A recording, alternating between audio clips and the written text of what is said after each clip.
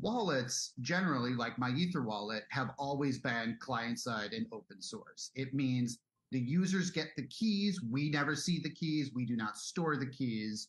Um, and um, and we keep no we keep no records of those. And the user has access to them. We also remain open source so that independent auditors can come in, look at the code, and see how those keys are generated and where they're being stored.